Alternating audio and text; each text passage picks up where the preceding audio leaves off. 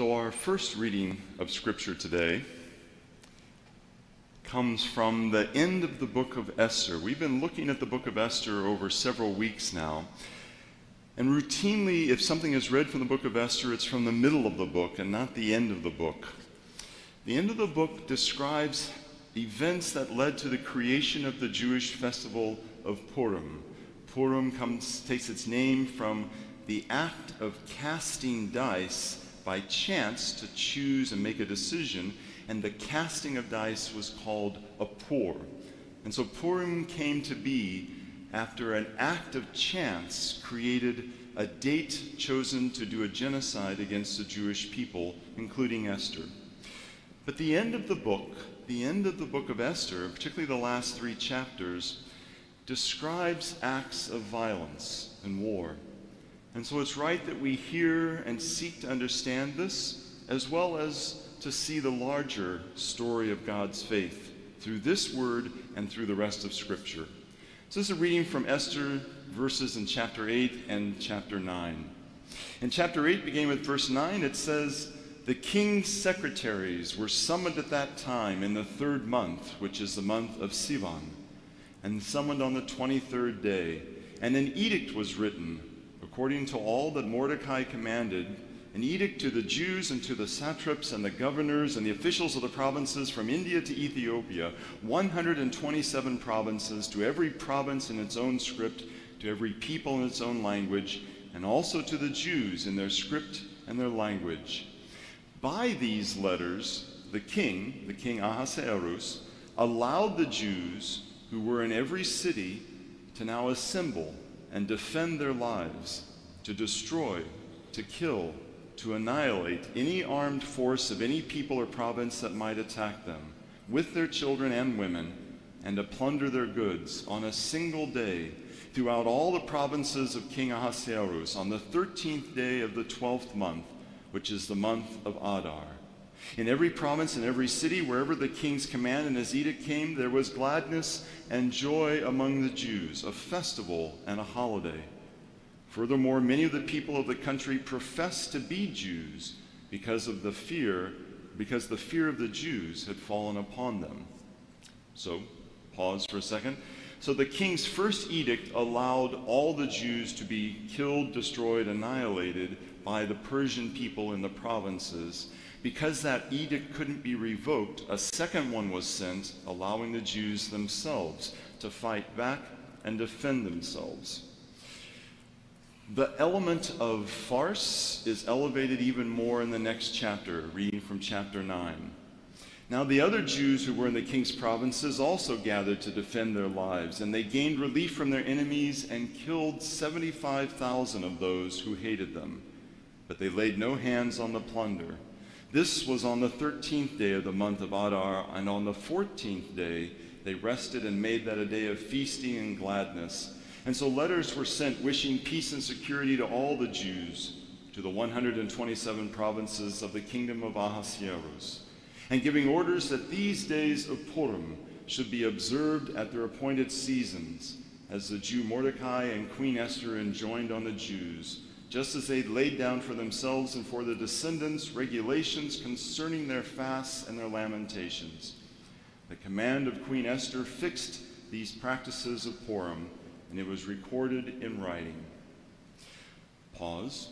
So, Purim still exists today. It is an annual festival, and it's sometimes celebrated on two different days. And so many of the scholars assume this description of two days of fighting and a day of festival are how they explain why Purim is celebrated on different days historically through the centuries. Many scholars do not take the literal death of 75,000 people as a reality, but it still is there in the passage. So whether this was an actual event or simply a storytelling device, we need to seek God's wisdom and grace in understanding God's word for us today. So friends, this is the word of the Lord. Thanks be to God. So, paired with the reading from the end of the book of Esther are these words from the Apostle Paul to the church in Ephesus, a reading from Ephesians chapter 2, verses 13 and 14. Paul writes, But now in Christ Jesus, you who once were far off have been brought near by the blood of Christ. For Christ is our peace. In his flesh, he has made both groups into one and has broken down the dividing wall, that is, the hostility between us. Let us pray. Gracious God, once more draw near to us. Guide us through your words, your history, your present grace, your future hope. May the words of my mouth and the meditations of our hearts be acceptable in your sight, for you are our rock and our redeemer. Amen. So, Esther, the book of Esther, is a Bible story that is truthfully more story than Bible. And the end of Esther is part of the story that we hear the least about for good reason. As I mentioned, the evil advisor, Haman, had set in motion a genocide against all the Jewish people living in those Persian provinces. His edicts, once they were ratified by the king, could not be revoked or changed. And so the king decided to let all the Jews fight back if they were attacked and to take revenge on their enemies for at least two days in a month chosen by Pur, by chance.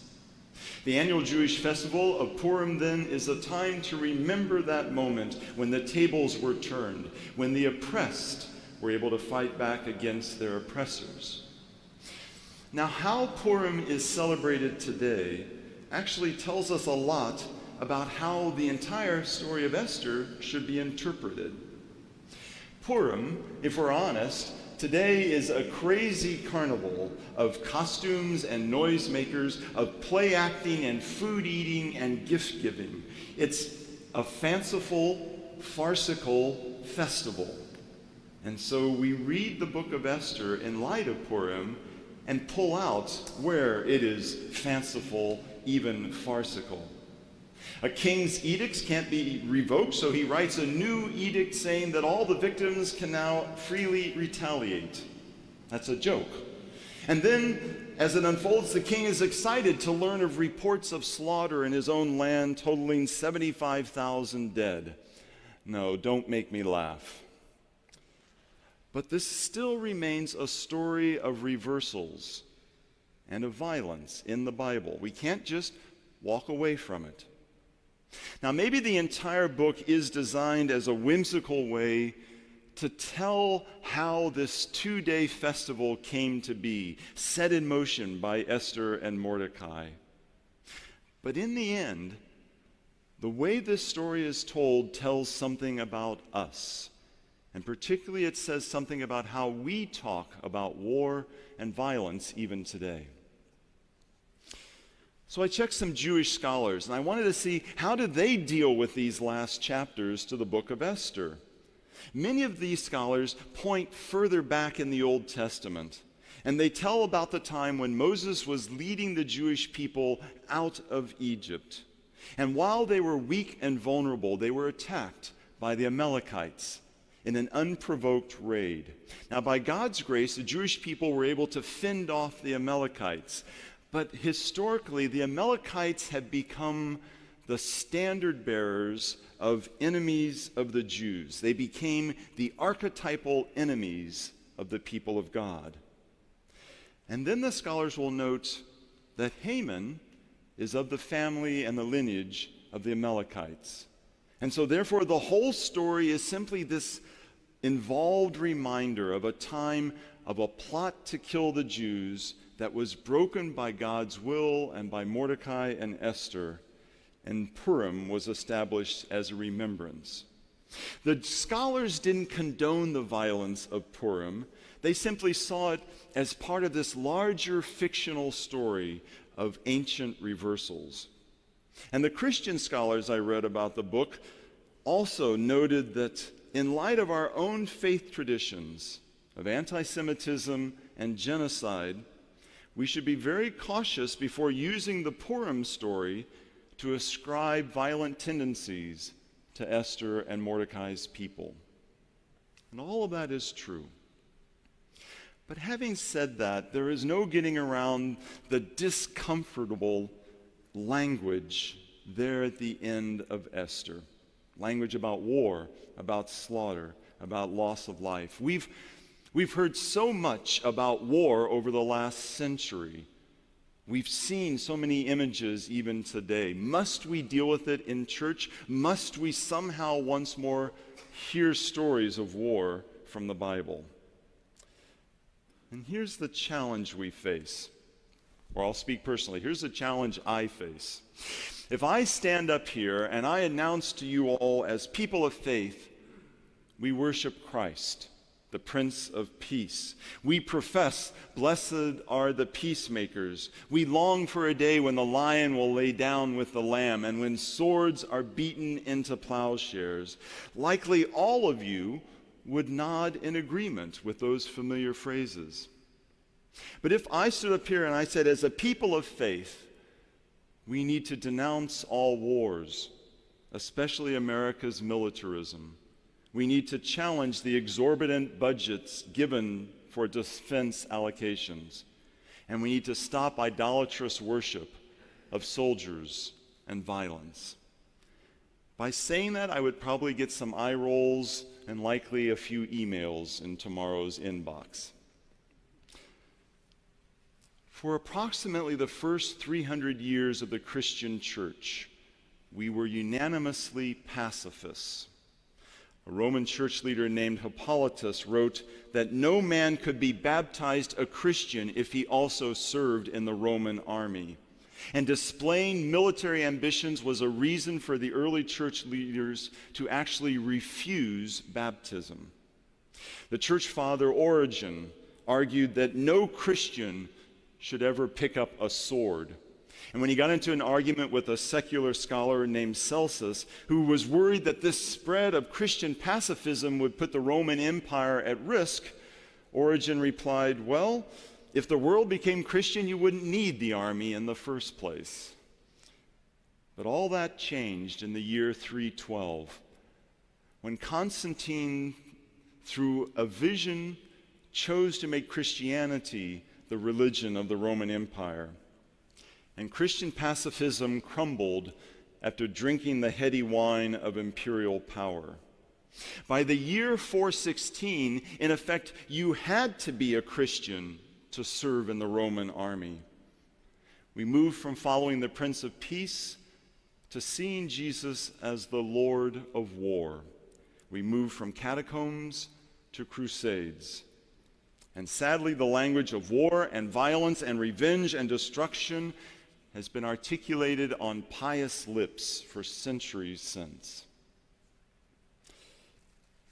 Someone once said, Give a small boy a hammer, and he will find that everything needs pounding. It's like the old saying to a person with a hammer, everything looks like a nail. Well, to a person with a gun, everything looks like a target. Basically, one of the causes of war is war itself. Wars produce warlike societies, which in turn make the world more dangerous for other societies because they are forced to adopt the same perspectives and warlike tendencies. War begets war, and it corrupts human society along the way.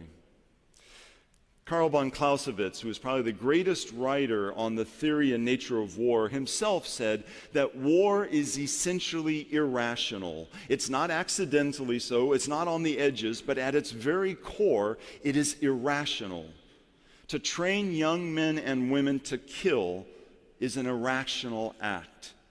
Just as it's irrational to believe that we could ever win the hearts and minds of any nation while aiming a gun at their heads or their children's heads.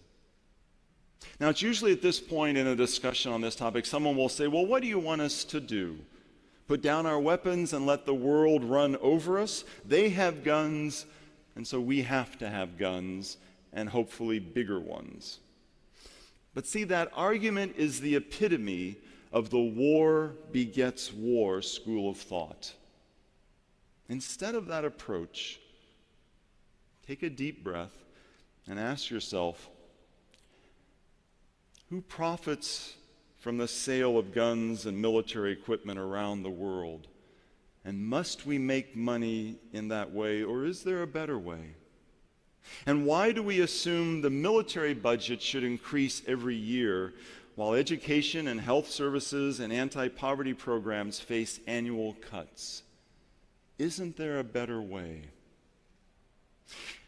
In the Sermon on the Mount, Jesus said point blank to the disciples Is there anyone among you who, if your child asks for a bread, you would give them a stone? Or if the child asks for a fish, you would give them a snake? We'll paraphrase those verses. If a child anywhere asks for bread, why would you hand them a gun?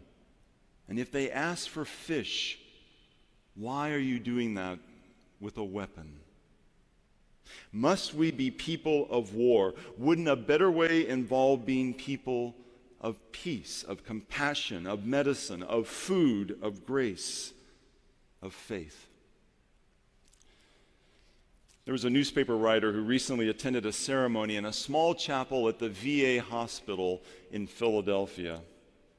And there was a group of veterans there who had gathered to talk about the moral injuries they carried within them after serving in active duty overseas. And one veteran sobbed while telling about an airstrike that he had called in that ended up killing literally dozens of civilians. And after those veterans spoke, the congregation in that chapel formed a circle around them, and they linked their arms, and they said together, We put you into situations where atrocities were possible. We share responsibility with you for all that you have seen, for all that you have done, for all that you have failed to do. It must be said, more than any other nation, Americans live disconnected from the brutality of war. War's violence is something that happens over there to someone else. Even our returning veterans, with their scars and PTSD, are mostly kept out of sight and out of mind. There must be a better way, a more faithful way. John F. Kennedy was once corresponding with a friend in the active duty of the Navy. And Kennedy said that war will exist until the day when the conscientious objector enjoys the same reputation and the same prestige as the warrior does today. And that's the paradox of Purim.